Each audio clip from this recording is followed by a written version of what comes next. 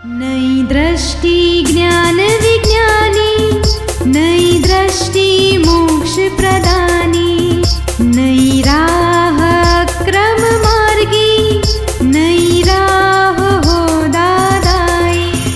जय जय स्वस्वरूपम ज्योति अहो प्रत्यक्ष है ये ज्ञानी। जय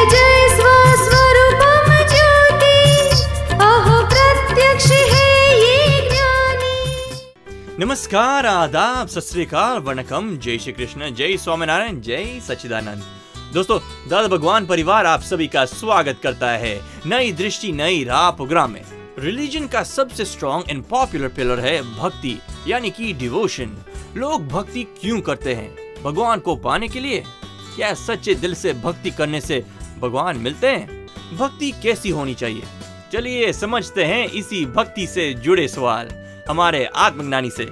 क्वेश्चन ये है निरुपमा एक दिन के लिए मन के स्तर पे उपवास का सजेशन देते थे तो उस पर हम्म। प्रकाश डालिएगा। वो वो एकादशी जो करते हैं ना मगर वो एकादशी अलग है दादाजी ने अलग से बताई है अग्यारस। यानी पाँच कर्मेंद्रिय पाँच ज्ञानेन्द्रिय और ग्यारहवा मन सभी को उपवास रखो। यानी पाँच कर्मेंद्रिय यानी दो हाथ दो पाँव खाना मुँह है टॉयलेट जाना बाथरूम जाना, ये पाँच कर्मेंद्रिय बोला जाता है। और पाँच ज्ञानेन्द्रिय आँख, नाक, मुँह, स्पर्श और सुगंध, पाँच कर्मेंद्रिय ज्ञानेन्द्रिय और यह ग्यारहवा मन, सभी को उपवास यानी उसके ज्ञाता दृष्टा रहो। चलो देखने में जाएँगे तो नहीं, एक दिन, समझ लो घर में कोई बार गाँव गए हैं तो खाली घर होगा तो उस दिन आराम से बैठ जाने का स्टॉपर मार के फ़ोन डिस्कनेक्ट करके, किसी का कांटेक्ट ना करना। सुबह साढ़े सुबह छह बजे से लेके दूसरे दिन सुबह छह बजे तक। चौबीस घंटा एक ही जगह बैठना और दादा भगवान या सिमंदर स्वामी का फ़ोटो, मूर्ति कुछ भी रखो। और अजीत कुमार को ज्ञाता दृष्टा रहना कि प्रकृति में क्या हो रहा है। खाने पीने का बंद। एक आध बार जाना पड़ेगा तो टॉयलेट बाथरूम जाना पड़ेगा तो भले जाके आ जाओ। और सो जाने का थोड़ा लेटे रहेगा ऐसे नहीं। उपयोग पूर्व भले सपोर्ट देके बैठो।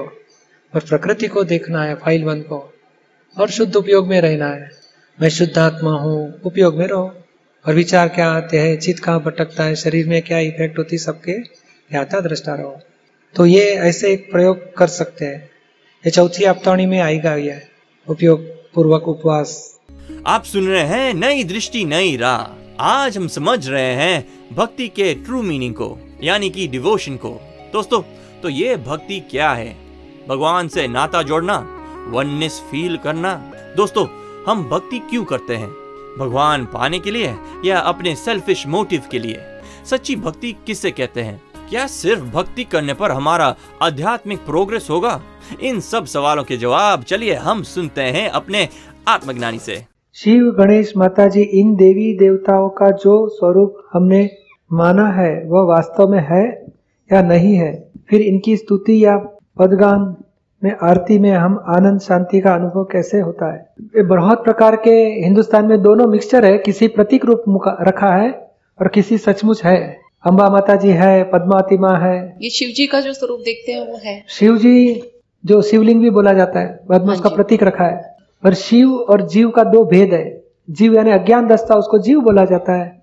आत्मज्ञान हुआ उसको शिव बोला जाता है। नहीं जो स्वरूप हम हाँ, देखते हैं वही मैं बताता हूँ जो शिव स्वरूप है वो ज्ञानी को बोला जाता है। और जो जटाधारी है गंगा को ग्रहण किया और गंगा को बहाया वो बाद में अपनी कथा वार्ता में सब आता है। ऐसे पात्र हुए हैं हाँ। और उन्होंने ऐसे किया भी है। गणपति जी है ये भी पात्र था। मगर थोड़ी थोड़ी बाद में मिक्सचर हो जाती है। अभी है ये सब? अभी सचमुच नहीं है। तो हम स्तुति करते हैं उसकी सब लोग करते हैं। सब लोग करते हैं मगर किसको पहुँचता है? जो शिव स्वरूप है उसको पहुँचता है। और शिव किसको बोला जाता है? पर उस वक्त हम एकदम आनंद विभोर हो जाते हैं। वही मैं बताता हूँ कि देखो एक बात दो बात करेंगे। पहली बात यह है कि जो शिव स्वरूप यानी आत्मज्ञानी वो सभी शिव स्वरूप बोला जाता है। आत्म अज्ञानी है उसको जीव स्वरूप बोला जाता है। आत्मज्ञानी को शिव स्वरूप बोला जाता है। मगर होता क्या है कि आप जिस शिव की भक्ति करते हो वो शिव वो परोक्ष भक्ति बोला जाता है। क्योंकि आप अपने भीतर वाले आत्मा को नहीं पहचानते हो और शिव की मूर्ति है चित्रपट है या कुछ भी फोटोग्राफी या आपकी कल्पना में है। हम्म, धारण करके आप पूजा करते हो भक्ति करते हो स्तोत्र करते हो भजन करते हो हम्म, तो आपकी श्रद्धा में जो भगवान है वो परोक्ष में है। और वो भगवान की मूर्ति या फ़ोटो सचमुच आपकी भक्ति नहीं स्वीकारते मगर वो आपके भीतर वाले भगवान को ही पहुँचता है। पर वाया मीडियम भगवान को पहुँचता है अपने ही भगवान को। यानी परोक्ष भक्ति आप करते हो और आपकी ही श्रद्धा आपको फल देती है और आपको आनंद सुख समझ अनुभव में आता है। तो ये गलत नहीं है क्योंकि ये जिसकी नहीं जानते जिसकी जिनकी मूर्ति रखी है वो भूतकाल में वो कुछ को, कोई भी स्वरूप से है हुए थे। तो ये उनके गुणगान गुणगान गाते हैं। कि नहीं ऐसे शिव स्वरूप है ऐसे गणपति है ऐसे अंबा माता जी ऐसे भगवान है। तो स्तुति करने से परोक्ष भक्ति होने से आपको सुख आनंद मिलता है। हम्म, और वो मिलने से आपको पुण्य का बीज भी गिरता है और आपका संसार में अभ्युदय होता है। मूर्ति की भक्ति करने से मूर्ति यानी हिंदुस्तान का बहुत बड़ा विज्ञान है। मूर्ति की भक्ति अवश्य करनी ही चाहिए। जो भी श्रद्धा है आपकी वो करने से संसार फल मिलता है। संसार में अच्छे पति अच्छे पत्नी अच्छे माँ बाप अच्छे पुत्र और सारा धर्म अच्छा धर्म मिलेगा सारा अच्छा शरीर मिलेगा।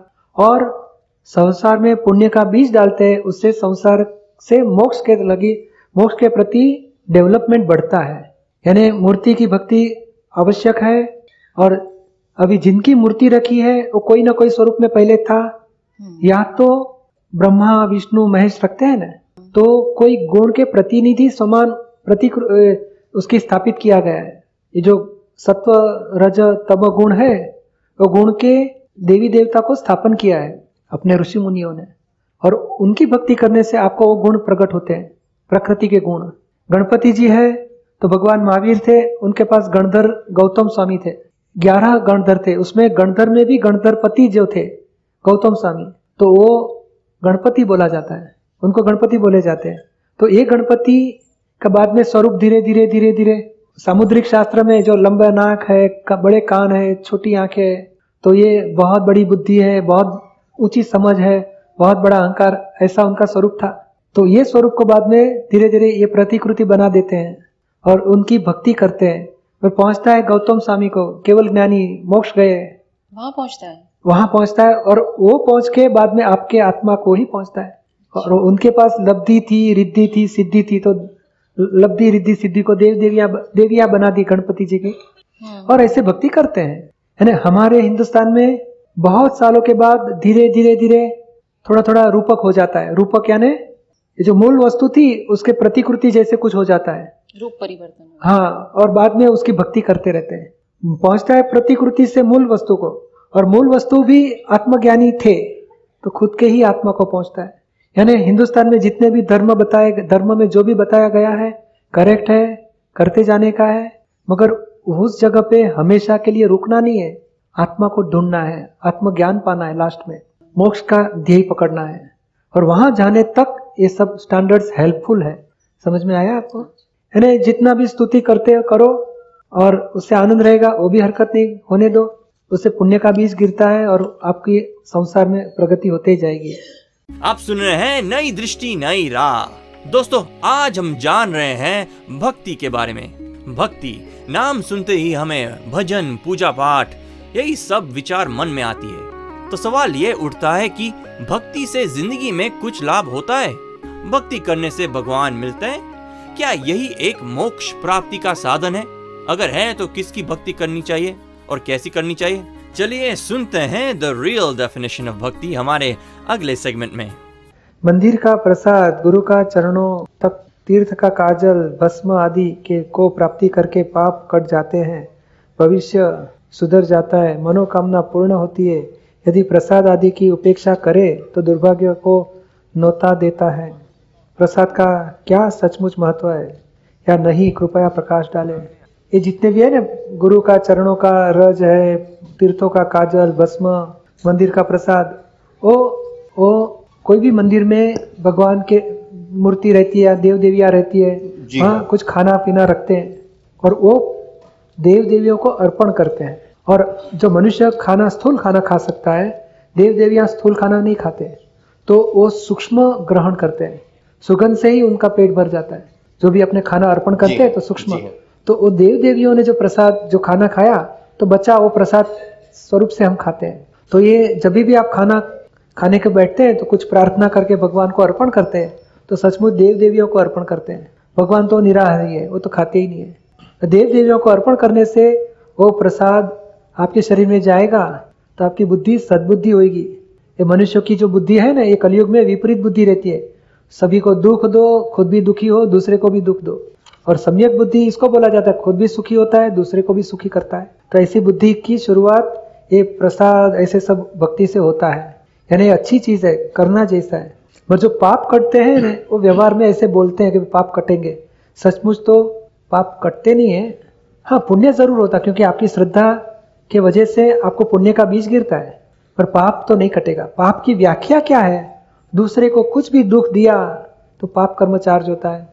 दूसरे को कुछ भी सुख दिया तो पुण्य कर्म चार्ज होगा तो पाप दूसरे को दुख देने से हुआ है तो वो दुख की माफ़ी मांगने से ही पाप कटेगा।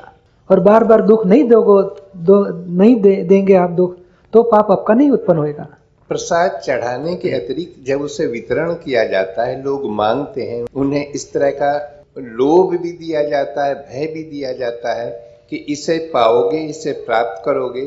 तो तुम्हारी मनोकामनाएँ पूरी होंगी तुम्हारा भाग्य सुधर जाएगा आदि आदि।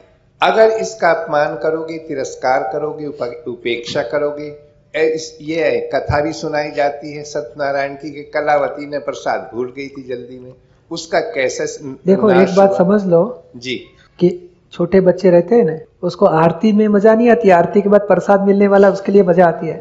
मालूम है ना? मालूम है। तो ये दो प्रकार के बाल जीव रहते हैं और ज्ञान जीव रहते हैं। कृष्ण भगवान भी विचार नहीं बताए। अर्थार्थी भक्त आर्थ भक्त जिज्ञासु भक्त और ज्ञानी भक्त।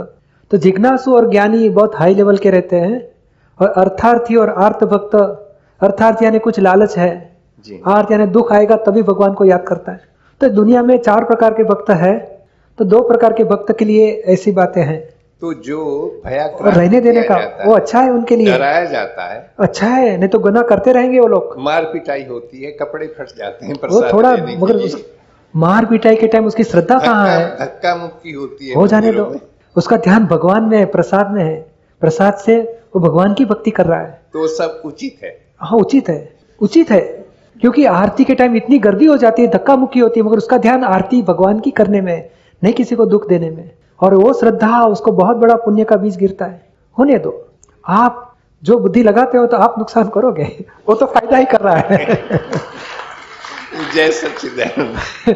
क्योंकि हृदय की बात है हृदय की भक्ति है और भक्ति से बहुत बड़ा पुण्य का उपार्जन कर रहा है वो। और जो बुद्धिशाली है वो विवेक से सोचता है क्या इसमें फ़ायदा? मगर बहुत बड़ा फ़ायदा है। मैं भी ऐसे ही सोचता था एक बार। एक बार मैं बोला, शांति से सब लोग को बैठने दो और आरती करने दो। निरुमा बताते, नहीं, उसको आरती हाथ में दो। मैं बोला, सब लोग धक्का मुक्की करते, बुज़ुर्ग लोग गिर जाते। नहीं, होने दो। बोला, ऐसे क्यों? अरे, उसका तुम भाव तो देखो, उसकी हृदय की भक्ति तो देखो। अब बुद्धि से सोचते हो, गिर जाएगा, लग जाएगा, क्या इसमें बैठ के भक्ति करने में क्या हरकत है? पर वो भक्ति बाल जीवों के लिए बहुत उपकारी है, होना ही चाहिए। और आप जिज्ञासु भक्त हैं तो आप आगे बढ़ सकते हो। हाँ बहुत, वो भी आवश्यक है। और दिया पाँच लगाते हैं ना, वो भी आवश्यक है। कोई बोला, मुझे दीवा की ज़रूरत नहीं, मैं ऐसे ही करूँगा। और वो कौन, किसके लिए? जो ऊपर की कक्षा में बढ़ गया, उसके लिए। यानी दोनों संसार में सच्य है। बाल जीवों के लिए अलग अलग है और ज्ञान जीवों के लिए भी अलग है। हाँ रहने देने का वो। आप सुन रहे हैं नई दृष्टि, नई राह। दोस्तों, आज हमने सुना भक्ति का इम्पोर्टेंस और जाना कि मोक्ष के लिए ज्ञान और भक्ति दोनों की ज़रूरत है। अधिक जानकारी के लिए फ़ोन नंबर है one eight seven seven five zero five Dada extension twenty three हमारी वेबसाइट है Hindi dot Dada Bhagwan dot O R G या फिर ईमेल करें Dada on radio at U S dot Dada Bhagwan dot O R G या फिर Dada Bhagwan foundation YouTube channel को subscribe करें। आज के लिए हमें दे इजाज़त। कल फिर मुलाकात होगी। तब तक के लिए स्टे इन द प्रेजेंट